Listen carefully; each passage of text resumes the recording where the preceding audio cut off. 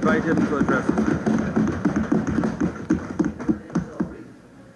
May it please you, Mr. Speaker, I rise to make my contribution to this, the third debate of the 10th Parliament of Guyana.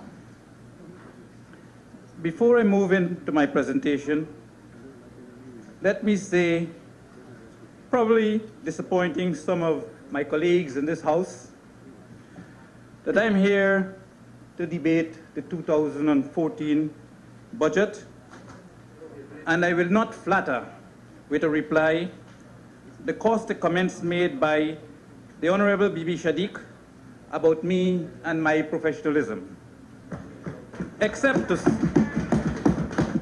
except to say that with all sincerity, I would like to publicly express my sincerest sympathy to her and the rest of her family on the passing of her brother, my dear friend, as she did say, and to say that Bill, as I know him, would always remain my dear friend. I'm one of the members of parliament of the Partnership of National Unity who shadow the health sector and would comment on some of the performance of this sector over the past years. I would just like to remind all of us in this House, especially those in the highest office of the health sector, that the job we are being paid to do would never be as easy as our appointment to this job. That the job comes with criticism, it comes with regular scrutiny, and it comes with a mandate to serve the people of this country with integrity, fairness, and accountability. The expenditure of the health sector was increased from 5.8% of the national budget in 2000 to 8.9% in 2013. Over the first two years of this 10th Parliament, the PPPC government has invested a total of more than 36.2 billion in the health sector, with the promise, of course, that all Guyanese would have readily access to a decent public health care system. A promise, Mr. Speaker, that has left much to be desired. This is so, Mr. Speaker, because for some reason or the other, the powers that be in the health sector over the years seem incapable of getting it right. This is in spite of those large sums of money allocated to this sector. In 2012, of the 17 billion expended in the health sector, 335 million was spent in training public health personnel.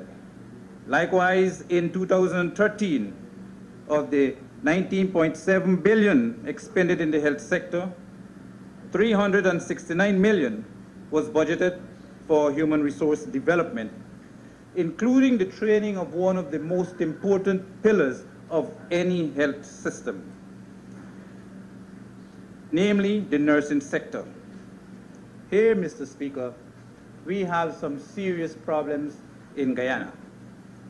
Nurses training in Guyana has been described as a severe chronic disease, while public concerns are voiced about mismanagement, mistreatment, and mistakes by nurses in the different health institutions throughout the length and breadth of Guyana.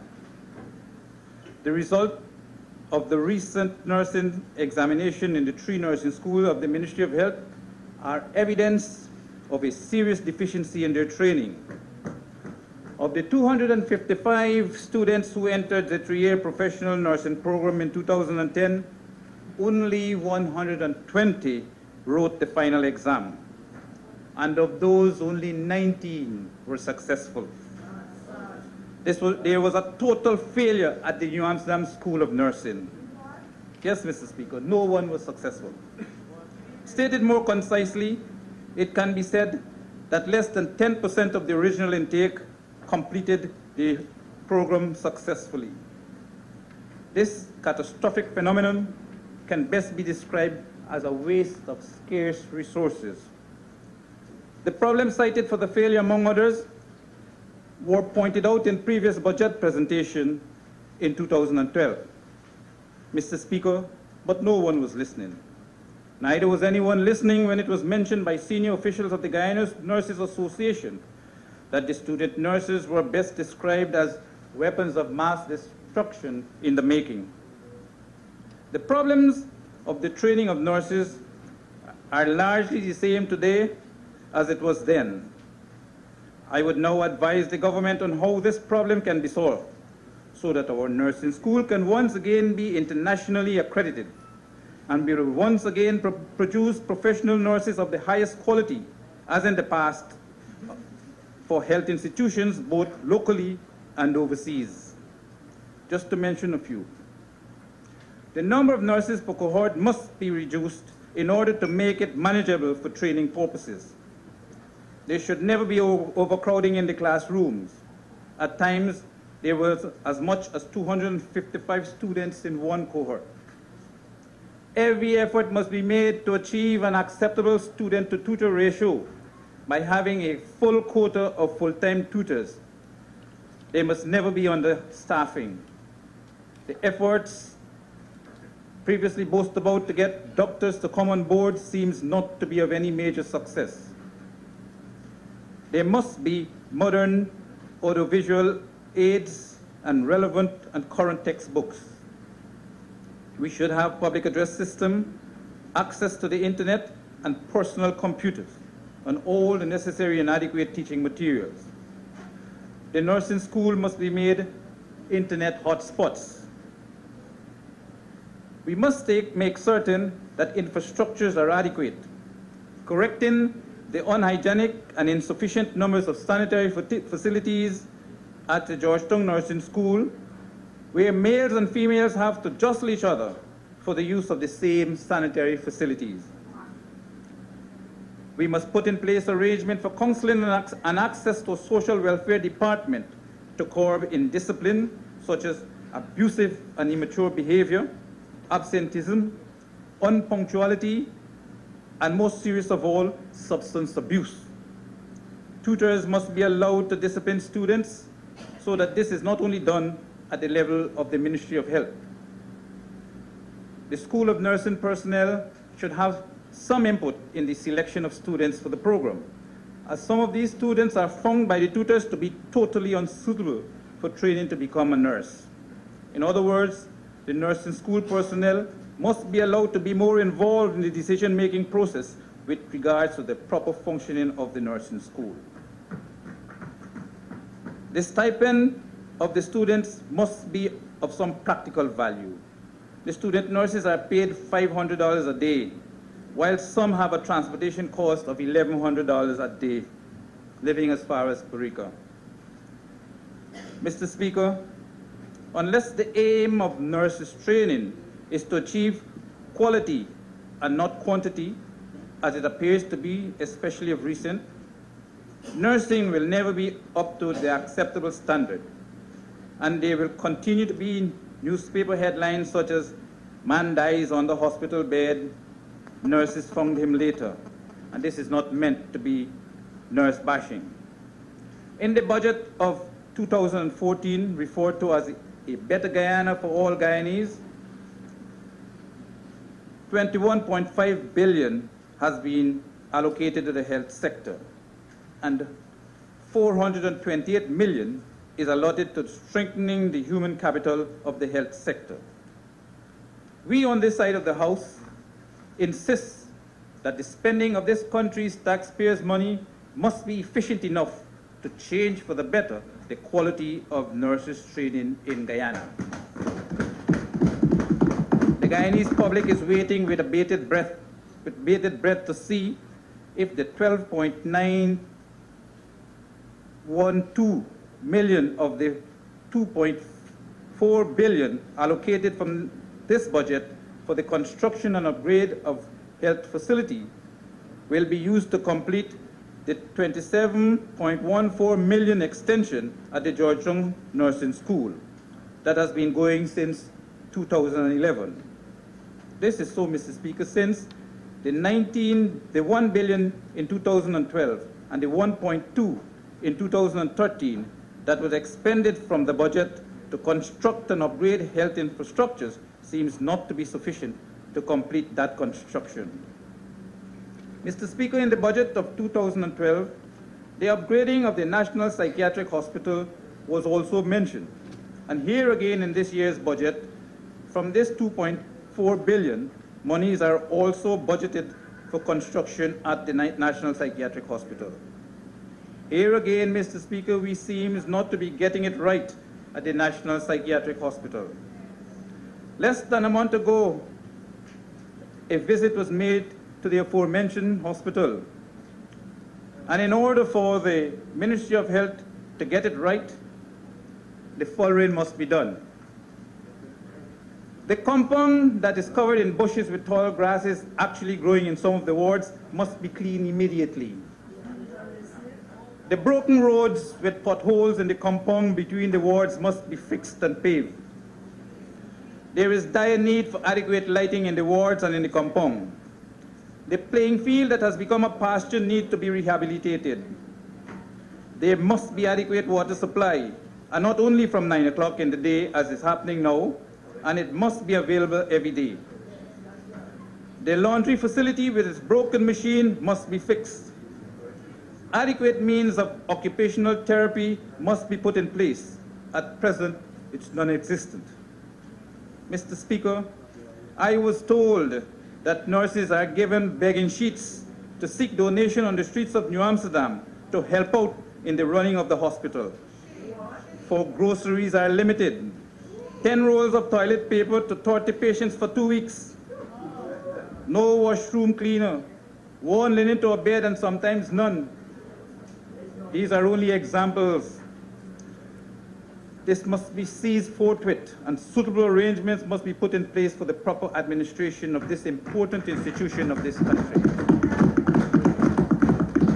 Mr. Speaker, the Minister of Finance, Dr. the Honorable Ashni Singh, at 8 point, at 4.84 of his budget presentation said, and I quote, Recognizing the growing incidence of personal and domestic violence, the provision of service in the mental health will focus on the prevention and management of suicidal behaviors.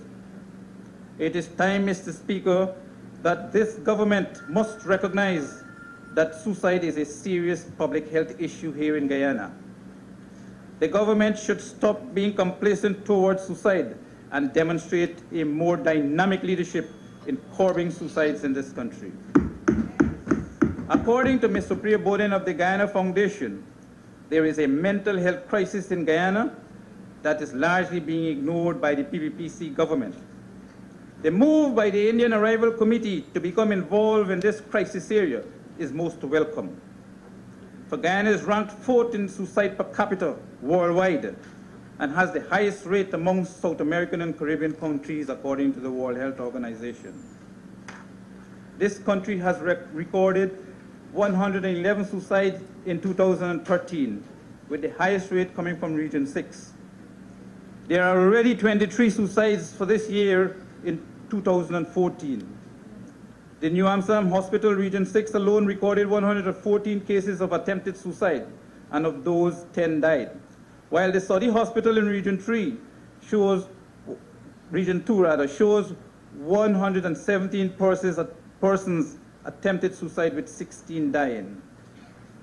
In Region 4, two weeks ago, a 21-year-old mother of two from a hiker attempted suicide after poisoning her two children to death. Georgetown is having its fair share as well, with the latest being the 10-year-old boy from Greater Georgetown area, Sophia, who with his belt on Sunday last became an addition to the number of attempted suicides. And yesterday, a 13-year-old male, the most recent, was successful in taking his life by hanging at Hope West Enmore. There were even recent cases of attempted suicide among the medical fraternity. In Guyana, on an average, there are over 200 suicides annually, and this is certainly on the increase. Studies by the American University of Research here in Guyana have shown that the majority of those committing suicides were young males between the ages of 12 and 20.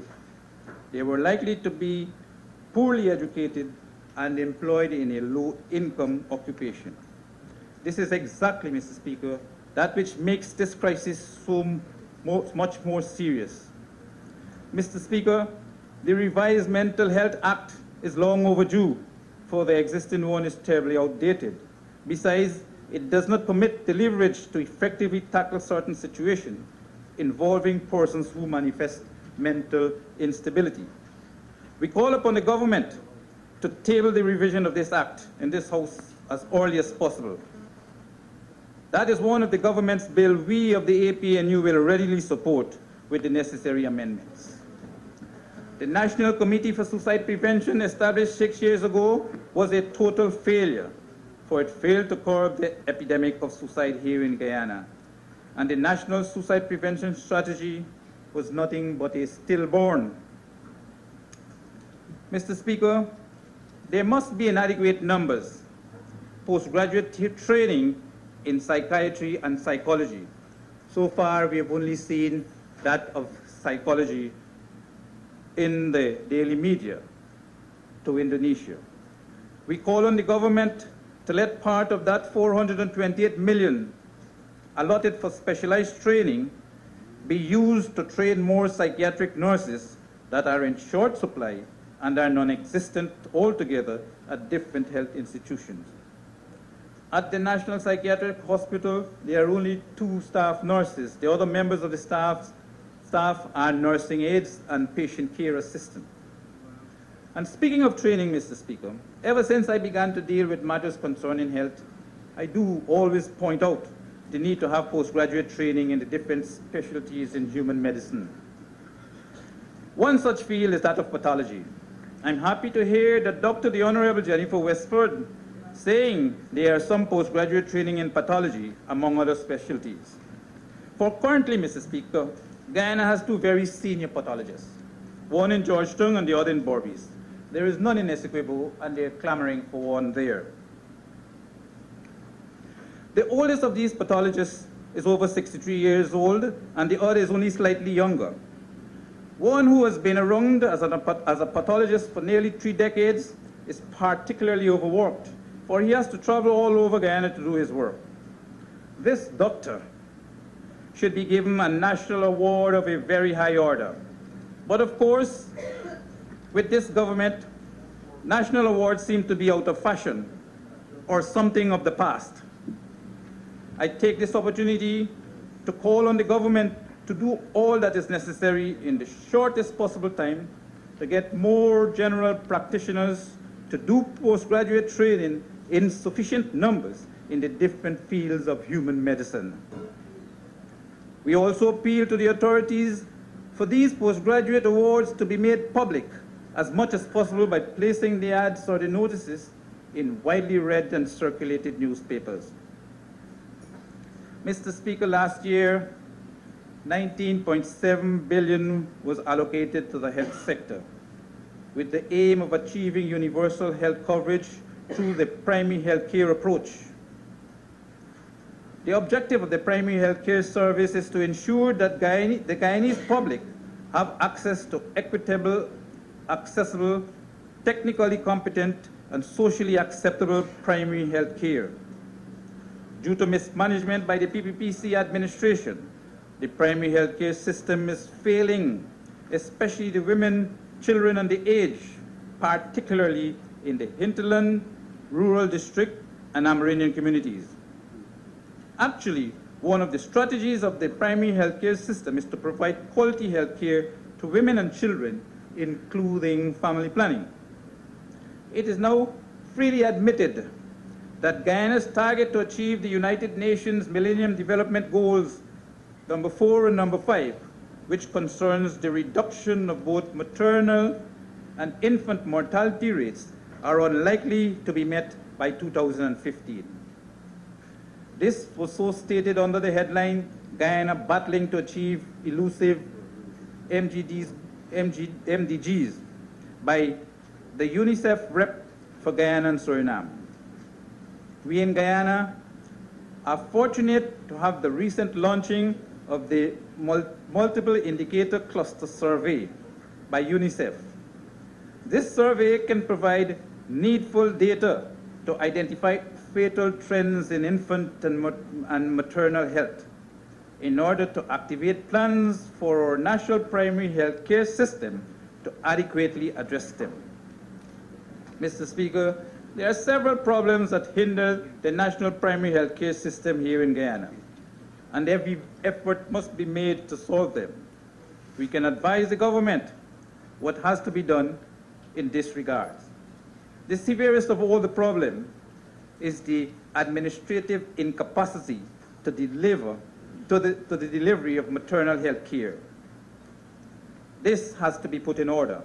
18 maternal deaths were recorded last year, and according to the chief medical officer, that figure is way too high and has caused even the Minister of Health, His Honorable, to lament, and I quote, we are somewhat alarmed at the level of cabinet about the maternal mortality rate. Not only at the level of cabinet, Mr. Speaker, all over the country. Even His Excellency the President, and if I might be allowed to mention him, on December 30 last, expressed his concern over the incidence of maternal deaths. I will point out that every maternal death is one too many, and the Honorable Minister must, if not fully, then in a large way, bear that responsibility. I beg to remind the Minister of a poem by one Samuel Taylor Coleridge, The Rime of the Ancient Mariner, since those deaths occurred under his watch. Ah, well a day, what evil looks had I from old and young. Instead of the cross, the albatross about my neck was hung. Albatross. Some one of us have an albatross around our neck. The maternal mortality rate rose from 220 per 100,000 in 2002 to 280 in 2010. Guyana's maternal mortality ratio is second only to that of Haiti, the CARICOM country. Government plans to spend 72.6 million of this year's budget to improve the quality of care given to maternal health patients. We are looking forward to the Honorable Minister getting it right this time. According to an official from the Ministry of Health, the health sector now has in place, under its family health manual, a recommendation that each pregnant woman be evaluated at least once during the initial phase of her pregnancy by a clinician, and any high-risk patient diagnosed would be evaluated by an obstetrician. He said, and I quote, so regardless of where they are around Guyana, we need to get them evaluated either by referring them or by us providing an obstetrician on a roving basis, end of quote. Mr. Speaker, this to the hinterland communities, to the Patamonas in Kurukubaru, might sound like an old pipe dream. The leadership of the Ministry of Health certainly may have never gone to the Pakaraimas regions of this country where there is not even a medics in most of the villages in sub-region one, much less a clinician. The regional health officer, who is a medical doctor, does not even visit that sub-region, where according to the medics at Paramakatoi, there is a very high birth rate. There is not even a machine to measure the hemoglobin count of those pregnant mothers, much less to be evaluated by an obstetrician. The ministry seems incapable of responding promptly to the prevention of preventable disease.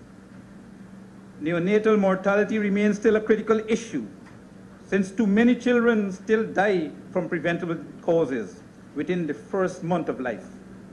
Infant mortality rate is stagnant at 29 per 1,000 over, for over a decade. There were 114 deaths over a 12-year period from 2001 to 2012 due to acute gastroenteritis forward slash acute diarrheal disease, with 61% being children under five years of age. Mr. Speaker, another, another source of serious problems of the primary healthcare system is the administration clumsy treatment of its nurses.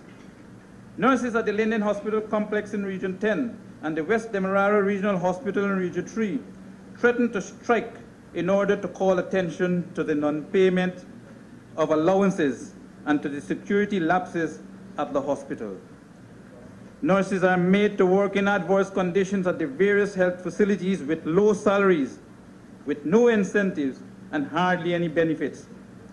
The meal allowance, Mr. Speaker, is the same as it was even before the PPPC came into office. What? With the uniform allowance for the year, can only buy a proper pair of shoes. Oh. What? Oh. Ashley? There is inadequate security for nurses institutions like at the Georgetown Public Hospital. Mr. Speaker, it is impossible, impossible for the nurses to save and become rich even if they are living with their parents and without children, as how one goodly minister accounted for the remarkable accumulation of wealth by a notorious someone here in Guyana. Better life. Nurses must be considered for duty-free concessions for motor vehicles. And special arrangements for adequate housing must be put in place for them.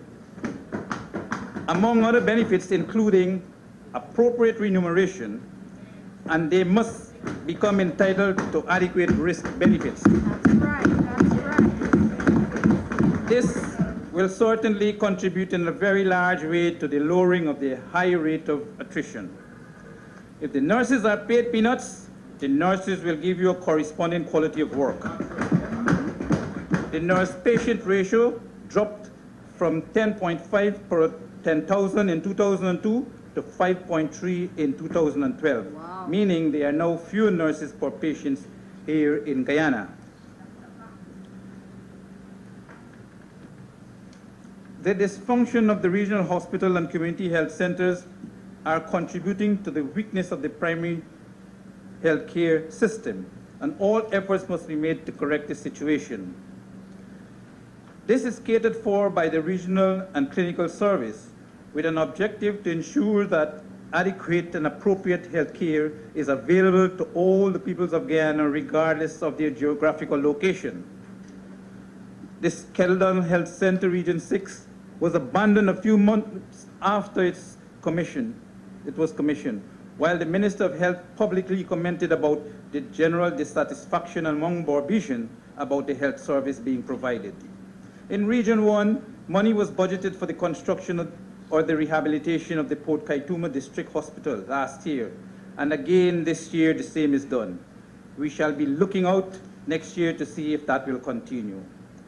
There is no community health worker in the health hut at Big Creek, and this hut, is used as a guest house. Likewise, at Tassawini, the health hut is non-functional, and the one at Five Star is occupied but not by health personnel. In Region 2, the medics at Siriki is otherwise employed while using the boat and engine of the Ministry of Health for personal use and for purposes it was never intended for. The Ministry of Health seemed to have no idea of the cost and distance and difficulty of the transportation and communication in the hinterland. In Region 7, the staff at Environmental Health Center was instructed to send seriously injured patients to Kamarang, a journey of many hours by costly privately owned boats. The medics in Paramakatoi in Sub-Region 1, Region 8 must seek permission from the Regional Health Officer in Mahdia of Region 2 to evacuate patients. The high cost of medical evacuation have been a consequence of the dysfunctional community health centers. In 2011, the Ministry of Health spent over 225 million to evacuate medical emergencies from the hinterland.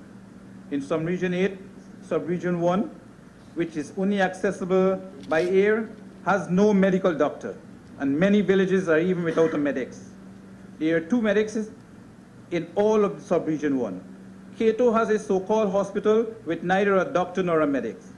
Paramakatoi only have a medics in spite of the promise made by the Minister of Health to provide a doctor. It was expected that at least one would have been provided since 278 Cuban-trained medical doctors recently returned to Guyana. A Cuban doctor was sent there in 2009, but only for a month.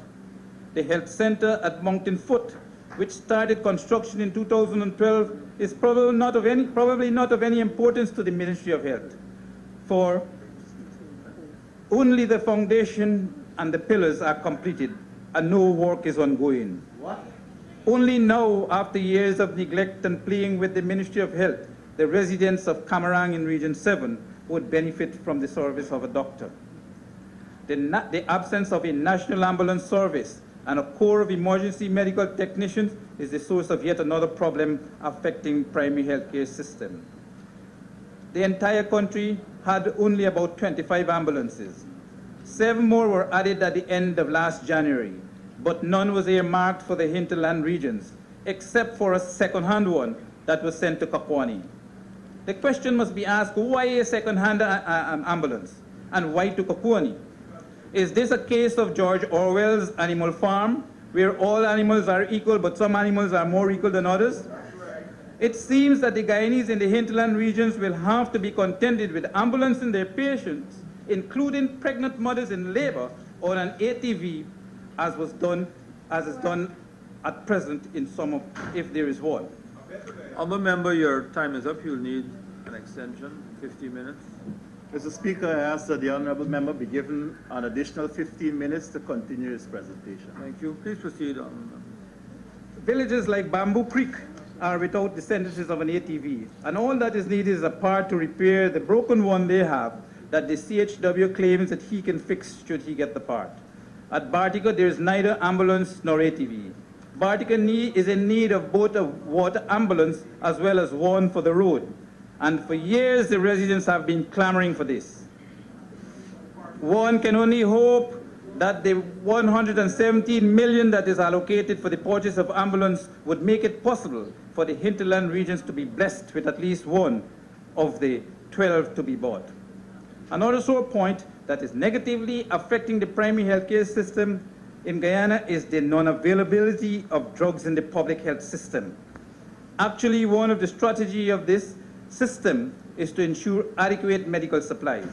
In January of this year, during an interview with Kaieteur News, a senior official from the Ministry of Health, while acknowledging this state of affair of drug shortages in the health sector, promised that the Ministry of Health will be tackling this, the shortages, as he described as a daunting dilemma.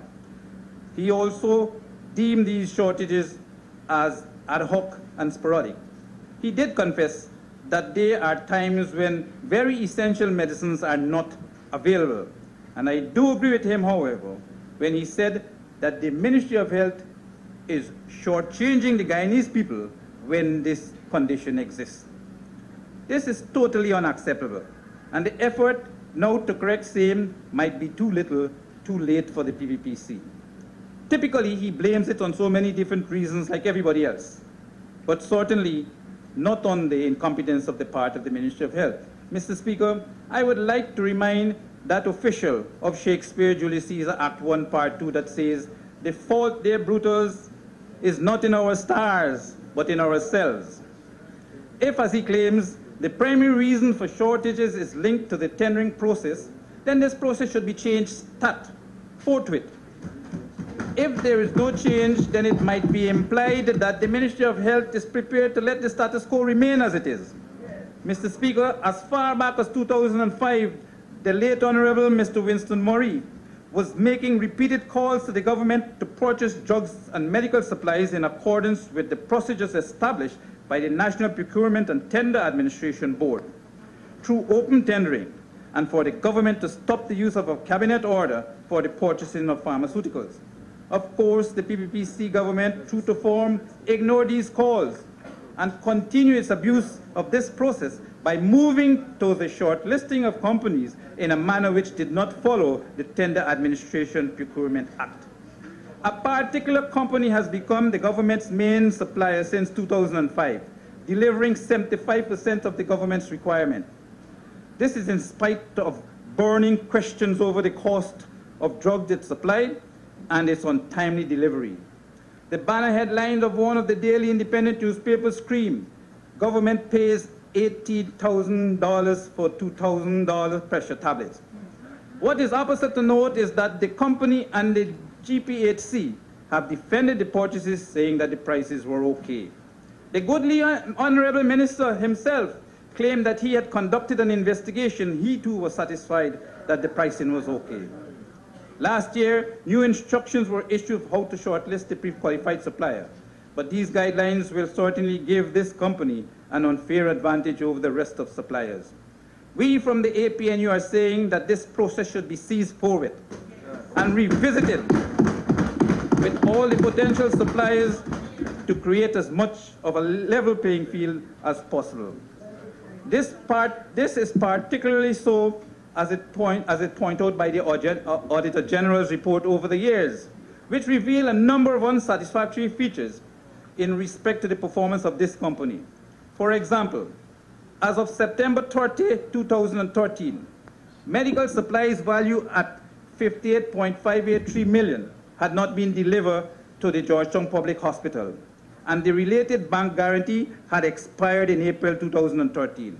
Similarly, as regards to the Ministry of Health, medical supplies value at 164.603 million had not been delivered, and there were no bank guarantees in force to cover this amount. There were also outstanding deliveries in 2011 totaling 59.835 million, while for 208 there was no evidence of supplied value, value at 79.263 million. Despite these shortcomings, Mr. Speaker, second, please, Dr. Norton. Mr. Speaker, uh, I heard the honorable members quoting 2013 in the Auditor General's report. I just would like him to cite me the page of which report, because I, I, I know that we haven't had the 2013 Auditor General report as yet. accepted, 2012, I meant. 2012, sorry. Okay, Sorry, Pardon? If, if you can, the page, please. I can, I can provide it at a later. Thank you. Okay, good. just One because second, he's quoting Dr. Norton. Members of the press, when you're entering or leaving the chamber, please allow the door to be uh, pulled in softly, rather than be banging behind you. Proceed, please, Dr. Norton. Thank you very much, Mr. Speaker. Despite these shortcomings, no action was taken against the supplier for non-compliance with its contractual obligations. Between 2005 and 2012, the government expenditure on drugs and medical supplies were more than tripled. Correspondingly, procurement from this organization also tripled, increasing from 973 million to 3 billion, 3.0, 3.033 billion. Why should the Ministry of Health persist with a supplier that is failing to comply with the recommendation, recommended deliver, delivery schedule, unless there is some hidden agenda? This again reminds me this time of Shakespeare Hamlet, Prince of Denmark, Act 1, Scene 2. Something is rotten in the state of Denmark.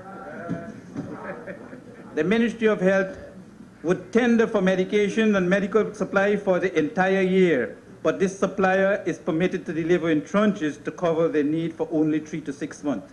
In spite of the fact that the Ministry of Health now has adequate storage facilities. Is this supply being allowed to do what he so chooses? It is definitely not in the public's best interest to have one supplier having a virtual monopoly in the supply of drugs and medical supplies to the government. They- we must correct this situation in order to stop this shortage of drugs, and that can be so done if efforts are made by the Ministry of Health to improve the process of distribution of drugs and medical supplies, to improve on the time of reordering, and to have effective communication between the regional health authorities and the Ministry of Health bond at Diamond.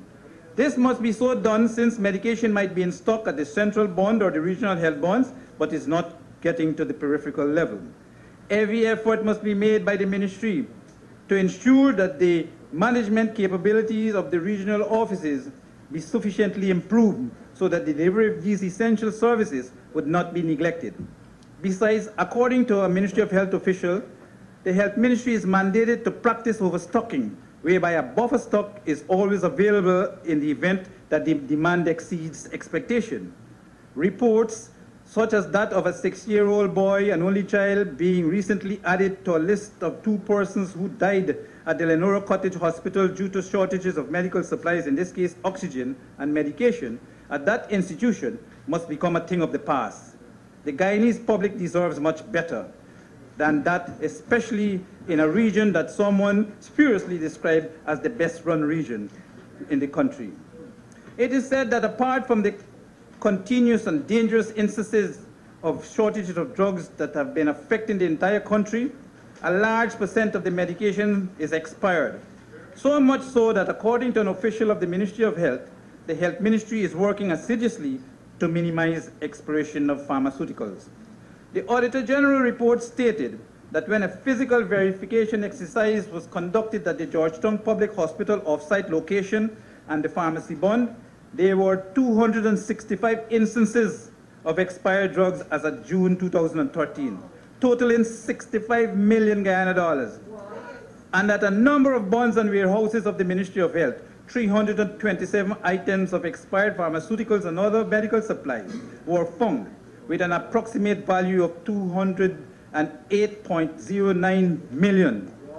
This means that between the Georgetown Hospital and the Ministry of Health, more than 273 million in drugs, drugs had to be discarded last year.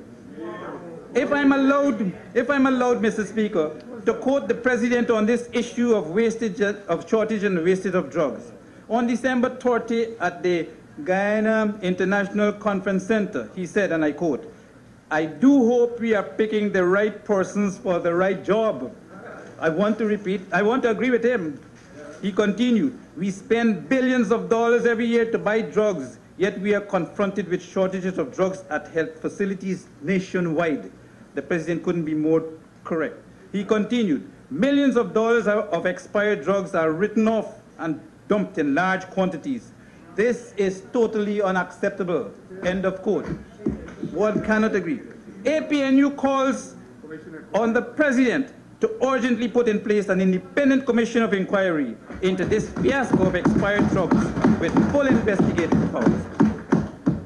While medications might have been donated to this country, as was informed by the Minister of Health, it begs the imagination as to why medications that were expired since 2010 would only now be sent for storage to be destroyed later.